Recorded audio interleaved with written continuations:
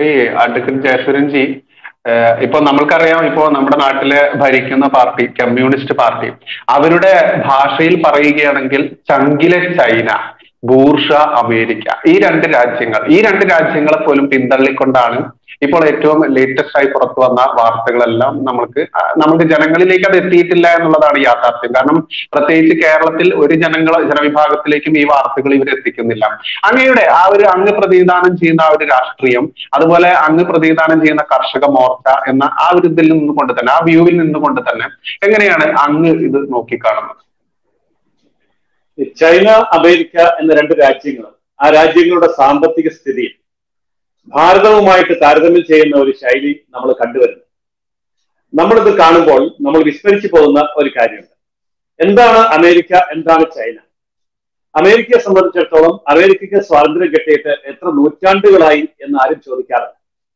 ചൈനയ്ക്ക് സ്വാതന്ത്ര്യം കിട്ടിയെങ്കിലും ചൈന ഏതാണ്ട് ഇന്ത്യയ്ക്ക് സ്വാതന്ത്ര്യം കിട്ടിയ അതേ സമയത്ത് തന്നെയാണ് ചൈനയ്ക്കും സ്വാതന്ത്ര്യം കിട്ടിയത്. പക്ഷേ ചൈനയുടെ സാമൂഹിക രാഷ്ട്രീയ സ്ഥിതി എന്താണ്?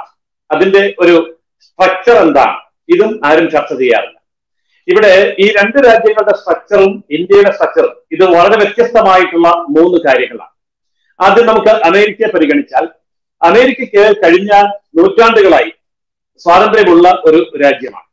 ഒന്നും രണ്ടും ലോകമഹായുദ്ധങ്ങൾക്ക് ശേഷം നേടിയ സൈനികമായിട്ടുള്ള മുന്നേറ്റത്തിന്റെ പിന്തുടർച്ചയായി അവർക്ക് ആഗോള കറൻസിയായി അമേരിക്കൻ ഡോളറിനെ അംഗീകരിപ്പിക്കാൻ സാധിച്ചു എന്നുള്ളതാണ് അമേരിക്കയ്ക്കുണ്ടായ ഒന്നാമത്തെ അഡ്വാന്റേജ് രണ്ടാമത്തെ അഡ്വാന്റേജ് അമേരിക്കയെ സംബന്ധിച്ചിടത്തോളം ലോക വ്യാപാരത്തിന്റെ നേതൃത്വം ഏറ്റെടുക്കാൻ ഈ ഡോളറിന്റെ ആധിപത്യം അവരെ കൂടുതൽ സഹായിച്ചു.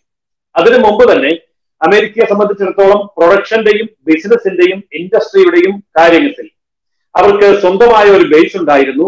വളരെ സ്ട്രോങ് ആയിരുന്നു അത്. അപ്പോൾ അങ്ങനെ സ്ട്രോങ് ആയിരുന്ന അമേരിക്ക രണ്ടാം ലോകമഹായു ഒന്നും രണ്ടും ലോകമഹായുദ്ധങ്ങൾക്ക് ശേഷം ഗ്ലോബൽ കറൻസി ആയിട്ട് അമേരിക്കൻ ഡോളറിനെ അംഗീകരിപ്പിക്കുക കൂടി ചെയ്തതോട് ചെയ്തതോടുകൂടി അവർക്കുണ്ടായ അഡ്വൈ അഡ്വാന്റേജിന്റെ പുറത്താണ് അവർ നേടിയ എല്ലാ പുരോഗതിയും എന്ന് നമുക്ക് കാണാം. അതോടൊപ്പം തന്നെ അമേരിക്ക ചെയ്ത മറ്റൊരു കാര്യം. ലോകത്ത് ഉള്ള എല്ലാ പ്രൊഡക്റ്റീവ് ആയിട്ടുള്ള വ്യക്തികളെയും സ്ഥാപനങ്ങളെയും സർവീസുകളെയും ടെക്നോളജികളെയും അവർ അമേരിക്കയിലേക്ക് കൊണ്ടുവരികയും അമേരിക്കയുടെ സ്വന്തമാക്കി തീർക്കാൻ ശ്രമിക്കുകയും ചെയ്തു. അതായത് വാതിലുകൾ തുറന്നിട്ടുകൊണ്ട് ഒരു നമ്മളൊക്കെ തൊണ്ണൂറുകളിൽ സ്വീകരിച്ച ഒരു ലിബറൈസേഷൻ ലിബറലൈസേഷൻ ഗ്ലോബലൈസേഷൻ എന്ന് പറയുന്ന ആ കാഴ്ചപ്പാട് അമേരിക്ക ആദ്യം തന്നെ തുടങ്ങി. എന്നാൽ ആ സമയത്ത് ലോകത്തെ ഇതര രാജ്യങ്ങൾ ഈ ഒരു ശൈലി പിന്തുടരേണ്ട ആവശ്യമുണ്ടോ എന്നുള്ള തർക്കത്തിലായിരുന്നു. സോവിയറ്റ് യൂണിയന്റെ ചൈനയുടെ ഒക്കെ നേതൃത്വത്തിൽ കമ്മ്യൂണിസം ലോകത്തിന്റെ മൂന്നിലൊന്ന് ഭാഗം പിടിച്ചടക്കുകയും അവിടെ ഭരണം നടത്തുകയും ചെയ്തപ്പോൾ അമേരിക്കൻ സാമ്രാജ്യത്വം തുലയട്ടെ എന്ന് പറയുന്ന മുദ്രാവാക്യം മുന്നോട്ട് വെച്ചു. അമേരിക്ക തെറ്റാണ് അമേരിക്കയുടെ സാമ്പത്തിക വീക്ഷണം തെറ്റാണ് അവിടുത്തെ രാഷ്ട്രീയം തെറ്റാണ് അവരുടെ ഉൽപാദന രീതി തെറ്റാണ് പരിപൂർണമായും ചൂഷണത്തിൽ അടിസ്ഥാനമാക്കിയിട്ടുള്ള ഒരു ഭരണക്രമവും ഒരു സാമ്പത്തിക സ്ഥിതിയും ആണ് മുതലാളിത്ത രാജ്യമായ അമേരിക്ക പിന്തുടരുന്നത്. അത് നഖശിഖാന്തം എതിർക്കപ്പെടേണ്ടതാണ് എന്നൊരു കാഴ്ചപ്പാടാണ് കമ്മ്യൂണിസ്റ്റ് രാജ്യങ്ങൾക്ക് ഉണ്ടായിരുന്നത്. അതുകൊണ്ട് തന്നെ അവർ ആ തരത്തിലുള്ള നിലപാടാണ് അമേരിക്കയ്ക്ക് നില സ്വീകരിച്ചത്. ഇത് അമേരിക്കയ്ക്ക് വലിയ സൗകര്യമായി അമേരിക്കയെ സംബന്ധിച്ചിടത്തോളം ഏതാണ്ട് നാൽപ്പത്തിയാറോളം കമ്മ്യൂണിസ്റ്റ് രാജ്യങ്ങളുടെ എതിർപ്പില്ലാത്ത ഒരു കമ്പോളം ലോകത്ത് അവർക്ക് തുറന്നു കിട്ടി. എന്നാൽ മൂന്നാമത്തെ രാജ്യങ്ങളുണ്ട്. അതായത് കമ്മ്യൂണിസ്റ്റ് രാജ്യങ്ങളുമല്ല അമേരിക്കയുമല്ല ക്യാപിറ്റലിസ്റ്റ് രാജ്യങ്ങളുമല്ലാത്ത മൂന്നാം ലോക രാജ്യങ്ങൾ എന്നൊക്കെ അറിയപ്പെട്ട കമ്മ്യൂണിസം ഇല്ലാത്ത ക്യാപിറ്റലിസം ഇല്ലാത്ത അതായത് ബിസിനസ്സും ഇൻഡസ്ട്രിയും കൊമേഴ്സും ഒന്നും കൈകാര്യം ചെയ്യാത്ത രാജ്യങ്ങൾ. അതായത് റോ മെറ്റീരിയൽസ് മാത്രം ഉൽപ്പാദിപ്പിക്കപ്പെടുന്ന ദരിദ്ര രാജ്യങ്ങളോ അല്ലെങ്കിൽ ഡെവലപ്പിംഗ് എക്കണോമിക്സ് എന്നൊക്കെ പറയാവുന്ന ഇന്ത്യ അടക്കമുള്ള രാജ്യങ്ങൾ ഇത് രണ്ടുമല്ലാത്ത ഒരു നയമാണ് സ്വീകരിച്ചത്. നിങ്ങൾ ക്യാപിറ്റലിസ്റ്റ് ആണോ എന്ന് ചോദിച്ചാൽ അന്ന് ഇന്ത്യ പറയും ഞങ്ങൾ ക്യാപിറ്റലിസ്റ്റ് അല്ല. എന്നാൽ നിങ്ങൾ കമ്മ്യൂണിസ്റ്റ് ആണോ എന്ന് ചോദിച്ചാൽ കമ്മ്യൂണിസ്റ്റും അല്ല. പിന്നെ നിങ്ങൾ എന്താണെന്ന് ചോദിച്ചാൽ സോഷ്യലിസ്റ്റ് ആണ് എന്ന് പറയും. എന്നാൽ സോഷ്യലിസം എന്താണെന്ന് ചോദിച്ചാൽ ബബ്ബ എന്നും പറയും. ഇതായിരുന്നു നമ്മുടെ ഇതുവരെ ഉണ്ടായിരുന്ന അവസ്ഥ. എന്നാൽ അതിനുശേഷം ഇപ്പോൾ മോദിജി വന്നു. നരസിംഹറാവു ആയിരത്തി തൊള്ളായിരത്തി തൊണ്ണൂറിൽ തുടങ്ങി വെച്ച ലിബറലൈസേഷനെ അതിന്റെ പൂർണമായ രൂപത്തിലും ശക്തിയിലും ഉപയോഗപ്പെടുത്താൻ സാധിച്ചില്ല. എന്നാൽ മോദിജിക്ക് ശേഷം ഇന്ത്യക്കുണ്ടായ ഒരു സാമ്പത്തിക വളർച്ചയെ നമ്മൾ താരതമ്യം ചെയ്യുമ്പോൾ നമ്മൾ ചൈനയുടെ ഭാഗം കൂടി പരിഗണിക്കണം. അപ്പോൾ ചൈന എന്നുള്ളത് ഇന്ത്യയോടൊപ്പം തന്നെ സ്വാതന്ത്ര്യം നേടിയ ഒരു രാജ്യമാണ്. ചൈന ഇന്ത്യക്കാൾ വലുതാണ്. അത് ഭൂവിസ്തൃതിയുടെ കാര്യത്തിലാണെങ്കിലും പോപ്പുലേഷന്റെ കാര്യത്തിലാണെങ്കിലും. എന്നാൽ ചൈനയിൽ കമ്മ്യൂണിസം അവർ നേരത്തെ ഉപേക്ഷിച്ചു. അതായത് സോവിയറ്റ് യൂണിയൻ തകരാൻ പോകുന്നു എന്നുള്ളതിന്റെ ഒരു സൂചന. തൊട്ടടുത്ത ഒക്കച്ചങ്ങായിമാരായിട്ടുള്ള ചൈനയ്ക്ക് നേരത്തെ തന്നെ മനസ്സിലായി. അതുകൊണ്ട് ചൈന എന്ത് ചെയ്തു? സോവിയറ്റ് യൂണിയന്റെ അബദ്ധം ഞങ്ങൾക്കുണ്ടാകരുത്. അതുകൊണ്ട് പുറമേയുള്ള ചെങ്കൊടി മാത്രം കമ്മ്യൂണിസത്തിന്റെതായി നിലനിർത്തുകയും അകമയുള്ളതെല്ലാം ക്യാപിറ്റലിസത്തിന്റെ ശൈലിയിലേക്ക് മാറ്റുകയും ചെയ്തു. എന്നാൽ ക്യാപിറ്റലിസത്തിലെ ജനാധിപത്യം അവർ സ്വീകരിച്ചില്ല. അതുകൊണ്ട് വ്യാവസായിക വാണിജ്യ കാർഷിക മേഖലയിലെ അവരുടെ ഉൽപാദനം സ്വന്തം ജനതയെ അടിമയാക്കി പണിയെടുപ്പിച്ചുകൊണ്ട് വൻതോതിലുള്ള ഉൽപാദനം വർദ്ധിപ്പിക്കാൻ അവർക്ക് സാധിച്ചതുകൊണ്ട് കയറ്റുമതി വളരെയേറെ ചൈനയ്ക്ക് നേടുവാൻ സാധിച്ചു. അപ്പോൾ കയറ്റുമതി കൂടുതൽ ഉണ്ടാവുകയും കൂടുതൽ പ്രൊഡക്ഷൻ ഉണ്ടാവുകയും ചെയ്യുമ്പോൾ ആ ഏതൊരു രാജ്യത്തിന്റെയും കറൻസി ശക്തിപ്പെടും. നമുക്കിന്ന് നോക്കിയാൽ അറിയാം അമേരിക്കൻ ഡോളറും ഇന്ത്യൻ രൂപയും തമ്മിലുള്ള വ്യത്യാസം പോലെയല്ല. അമേരിക്കൻ ഡോളറും ചൈനീസ് യുവാനും തമ്മിലുള്ള വ്യത്യാസം.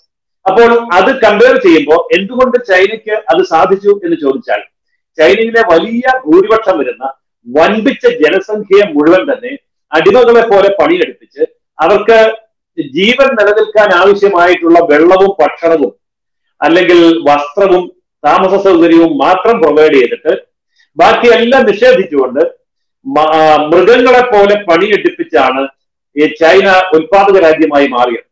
അങ്ങനെ അവർ ലോകത്തുള്ള എല്ലാ കമ്പനികളുടെയും ഉൽപാദനത്തിന്റെ ഹബ്ബായിട്ട് മാറിയപ്പോൾ ലോകരാജ്യങ്ങളിലുള്ള എല്ലാ കമ്പനികളും ചൈനയിലേക്ക് കുടിയേറി.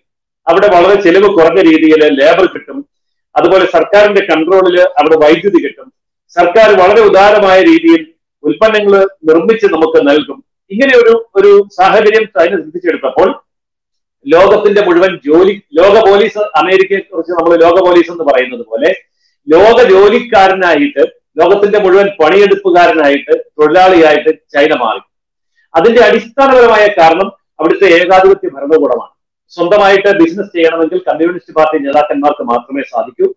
സ്വന്തമായിട്ട് എന്തെങ്കിലും സമ്പത്ത് സമ്പാദിക്കണമെങ്കിൽ സർക്കാരിന്റെ ആനുകൂല്യങ്ങൾ ലഭിക്കണമെങ്കിൽ അത് സർക്കാരിനോട് ഒട്ടി നിൽക്കുന്ന സർക്കാരിന്റെ ഭാഗമായി നിൽക്കുന്ന കമ്മ്യൂണിസ്റ്റ് നേതാക്കന്മാർക്ക് മാത്രമേ സാധിക്കൂ എന്നൊരവസ്ഥ വന്നപ്പോൾ ഭരണകൂടം ക്യാപിറ്റലിസം കൈകാര്യം ചെയ്യുകയും അങ്ങേയറ്റത്തെ ചൂഷണം അമേരിക്കയിലോ യൂറോപ്യൻ രാജ്യങ്ങളിലോ ക്യാപിറ്റലിസ്റ്റ് രാജ്യങ്ങളെന്ന് വിളിക്കപ്പെടുന്ന മറ്റു രാജ്യങ്ങളിലോ കാണാത്ത സ്വാതന്ത്ര്യം അവിടെ കാണുന്ന സ്വാതന്ത്ര്യം നിഷേധിച്ച് അവിടെ കാണാത്ത ഏകാധിപത്യം അടിച്ചേൽപ്പിച്ച് നിഷ്ഠൂരമായ രീതിയിൽ പണിയെടുപ്പിക്കുന്ന ഒരു അന്തരീക്ഷം ചൈന സൃഷ്ടിച്ചിടത്തു നിന്നാണ് ചൈനയുടെ സാമ്പത്തിക പുരോഗതി ആരംഭിക്കുന്നത് ഇന്നിപ്പോ നമുക്ക് മനസ്സിലാകും ഏറ്റവും അവസാനം ലോകം മുഴുവൻ കോവിഡിനെ തുടച്ചു നീക്കി കഴിഞ്ഞിട്ടും ചൈന കോവിഡിന്റെ പിടിയിൽ കിടന്ന് പിടയുകയാണ്.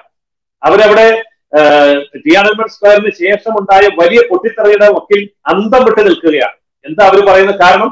ഭക്ഷണം വേണമെന്നല്ല. എന്താ അവർ പറയുന്ന കാരണം? കുടിവെള്ളം വേണമെന്നല്ല. അവർ പറയുന്ന കാരണം കോവിഡിന്റെ കാര്യത്തിൽ ഇനിയെങ്കിലും ഒരു തീരുമാനമുണ്ടാക്കാൻ കഴിയാത്ത ഭരണകൂടം പുറത്തു പോകണം. റെസ്ട്രിക്ഷൻസ് ജനങ്ങളുടെ മേലല്ല അടിച്ചേൽപ്പിക്കേണ്ടത്. അത് ഭരണകൂടത്തിന്റെ കഴിവില്ലായ്മയാണ് പുറത്തു കൊണ്ടുവരുന്നത്. എന്ന് പറയുന്ന ചൈന മറുവശത്ത്. അപ്പൊ ഞാനിപ്പോ അമേരിക്കയുടെയും ചൈനയുടെയും കാര്യം നിങ്ങളുടെ മുമ്പാകെ വെച്ചത് ഭാരതം എവിടെ നിൽക്കും എഴുപത്തഞ്ച് വർഷമായി സ്വാതന്ത്ര്യം കിട്ടിയിട്ട് എന്ന് പറഞ്ഞെങ്കിലും ആദ്യത്തെ അറുപത് അറുപത്തഞ്ച് കൊല്ലം മുഴുവൻ നമ്മൾ പരീക്ഷണത്തിലായിരുന്നു. ഏത് വേണമെന്ന് നമുക്ക് അറിയില്ല അപ്പൊ ഭാരതത്തിന്റെ ശക്തി മുഴുവൻ പ്രയോഗിച്ചത് എവിടെയാണ്? നമുക്കറിയാം അഞ്ഞൂറ്റി അറുപത്തി നാല് നാട്ടുരാജ്യങ്ങളെ വെട്ടിപ്പിടിച്ച് ഒന്നാക്കണം എന്നിട്ട് ഭാരതം ഉണ്ടാക്കണം ഭാരതം ഉണ്ടാക്കി കഴിഞ്ഞപ്പോൾ തന്നെ പാകിസ്ഥാൻ ഉണ്ടായി അപ്പൊ പിന്നെ പാകിസ്ഥാന്റെ പ്രശ്നങ്ങൾ നേരിടണം. അതിനുശേഷം പാകിസ്ഥാന്റെ ആക്രമണം പിന്നെ പിന്നാലെ ചൈനയുടെ ആക്രമണം ഈ ആക്രമണങ്ങളെ നേരിട്ടു. അങ്ങനെ കഴിഞ്ഞ ഒരു മുക്കാൽ നൂറ്റാണ്ട് കാലഘട്ടം ആന്തരികമായ സംഘർഷങ്ങളിലൂടെയാണ് ഭാരതം കടന്നു വന്നത് എന്ന് നമ്മൾ മനസ്സിലാക്കണം. ഇത് അമേരിക്കയ്ക്ക് ആദ്യ കാലഘട്ടങ്ങളിൽ ഉണ്ടായിരുന്നു പക്ഷെ പിന്നീട് അമേരിക്ക ആ കാലഘട്ടം കഴിഞ്ഞ് ശാന്തമായിട്ടുള്ള പൊളിറ്റിക്സ് ഒരു രാഷ്ട്രീയ അന്തരീക്ഷം നേടിയെടുത്തു. അതിനുശേഷമാണ് അമേരിക്ക ഗ്രോ ചെയ്തത്. ആദ്യം മുതൽ തന്നെ ചൈനയ്ക്ക് ഈ ഭാഗ്യമുണ്ട്. എന്താ ഈ ഭാഗ്യം എന്ന് പറയുന്നത്? അവിടെ ഏകാധിപത്യമായ നിഷ്ഠൂരമായിട്ടുള്ള ഭരണ സംവിധാനം ഉള്ളതുകൊണ്ട് അവിടെ ഇന്ത്യ നേരിടുന്നത് പോലെയുള്ള ജനാധിപത്യ പ്രശ്നങ്ങളില്ല. അപ്പോൾ ഭാരതത്തിന്റെ ജനാധിപത്യ പ്രശ്നങ്ങളിൽ സമയവും ഊർജവും എല്ലാം ചെലവഴിച്ച അറുപത് വർഷങ്ങൾ കടന്നുപോയതിനു ശേഷമാണ് ഈ കഴിഞ്ഞ ഒരു പത്ത് പതിനഞ്ച് വർഷമായിട്ടാണ് നമ്മൾ സ്വസ്ഥമായിട്ട് എന്ന് പറയാറായിട്ടില്ലെങ്കിലും ഏതാണ്ട് ദിശാബോധത്തോടു കൂടിയുള്ള ഒരു സാമ്പത്തിക ക്രമീകരണം ആരംഭിച്ചത്. ആ സാമ്പത്തിക ക്രമീകരണമാണ് മോദിജിയുടെ കടന്നുവരവോട് കൂടി ഇന്ന് വളരെ വ്യക്തമായിട്ടുള്ള ലക്ഷ്യബോധത്തോടു കൂടി മുന്നേറാൻ തുടങ്ങിയിരിക്കുന്നത്. ഇവിടെ നമുക്കുള്ള വലിയ ഒരു പ്ലസ് പോയിന്റ് ഉണ്ട്. നമ്മൾ ഇനിയും ആക്സിലേറ്റർ ഉപയോഗിക്കാതെ ഓടിക്കൊണ്ടിരിക്കുന്ന ഒരു വാഹനമാണ് എന്ന് പറയാം. ഭാരതം എന്ന് പറയുന്നത് ആക്സിലേറ്ററിൽ തൊടാതെ ഓടിക്കൊണ്ടിരിക്കുന്ന ഒരു വാഹനമാണ്. അതായത് ബ്രിട്ടീഷുകാരൊക്കെ വന്നു പോകുന്നതിന് മുമ്പ് വൈദേശികാധിപത്യം വരുന്നതിന് പോകുന്നതിന് മുൻപ് നമ്മുടെ പൂർവികന്മാർ കണ്ടെത്തിയ നമ്മുടെ കാർഷിക സംസ്കാരവും നമ്മളുടെ മറ്റു സാമ്പത്തിക സംസ്കാരവും ഒക്കെ അന്ന് കറക്കിലിട്ട കറക്കത്തിന്റെ ആക്കത്തിൽ തന്നെ ഇന്നും ഉരുളുകയായിരുന്നു. അതായിരുന്നു ഭാരതത്തിന്റെ സാമ്പത്തിക വളർച്ച. എന്നാൽ ഇന്ന് വ്യക്തവും കൃത്യവുമായ ദിശാബോധത്തോടു കൂടിയുള്ള ഒരു സാമ്പത്തിക വീക്ഷണം കൈക്കൊള്ളുകയും ശക്തമായ നടപടികൾ എടുക്കുകയും ലോകരംഗത്ത് കൃത്യമായി കണക്കുകൂട്ടലുകളോട് കൂടി കടന്നു ചെല്ലുകയും ചെയ്യുന്ന ഒരു രാജ്യമായി നമ്മൾ മാറിയപ്പോൾ നമ്മുടെ പോപ്പുലേഷനെ നമുക്ക് ഉപയോഗിക്കാൻ സാധിക്കുന്നു. ശരിയാണ് ഇന്നും നമ്മൾ വിദ്യാസമ്പന്നരായിട്ടുള്ള കുട്ടികൾ വിദേശത്തേക്ക് പോകുന്നുണ്ട്. പക്ഷേ അടുത്ത നാളുകളിൽ അത് അവസാനിക്കാൻ പോകുന്നു എന്നുള്ളതിന്റെ ലക്ഷണം ബ്രിട്ടനിൽ നിന്ന് തന്നെ ആരംഭിച്ചിട്ടുണ്ട്. നേരത്തെ ഇവിടെ വിനീതാജി സൂചിപ്പിച്ചതുപോലെ അവർക്ക് അതിന്റെ സാച്ചുറേഷൻ പോയിന്റിൽ എത്തിയ രാജ്യങ്ങളാണ് എങ്കിൽ. സാച്ചുറേഷൻ പോയിന്റ് സ്റ്റാർട്ടിംഗ് പോയിന്റിൽ പോലും എത്താത്ത ഒരു രാജ്യമാണ് ഭാരതം. അതുകൊണ്ട് നമുക്ക് വ്യവസായത്തിലും കൃഷിയിലും വാണിജ്യത്തിലും വിദ്യാഭ്യാസത്തിലും എന്ന് വേണ്ട നമ്മുടെ എല്ലാ മേഖലകളും അൺടാപ്പഡ് ആയിട്ട് ഇന്നും നമ്മൾ സൂക്ഷിച്ചിരിക്കുകയാണ്. അതൊക്കെ തുറന്നു ഉപയോഗിക്കാൻ തുടങ്ങുന്ന ഒരു കാലഘട്ടം ആരംഭിച്ചിട്ടേ ഉള്ളൂ. അതുകൊണ്ട് വരാൻ പോകുന്ന പതിറ്റാണ്ടുകൾ എന്നൊന്നും പറയണ്ട. വരാൻ പോകുന്ന വർഷങ്ങൾ ഭാരതം ലോകത്തിന്റെ നേതൃസ്ഥാനത്തേക്ക് കുതിച്ചെത്തുന്ന വർഷങ്ങളായിരിക്കും. അപ്പോൾ ആ സാഹചര്യത്തിൽ നമുക്ക് ഉപയോഗിക്കാൻ കഴിയുന്ന ഇൻഡിക്കേഷനുകളാണ് ഇപ്പോൾ വിനീതാജി ഇവിടെ ചൂണ്ടിക്കാണിച്ചത്. അതിനേക്കാൾ ഉപരിയായിട്ടുള്ള പല മുന്നേറ്റങ്ങളും അതിദ്രുതം നമുക്ക് കാണാൻ സാധിക്കും. ഇപ്പോൾ ഈ കഴിഞ്ഞ ദിവസം ഉണ്ടായ ഒരു സംഭവം ഉണ്ടല്ലോ. എയർ ഇന്ത്യ ടാറ്റ വാങ്ങിച്ചു.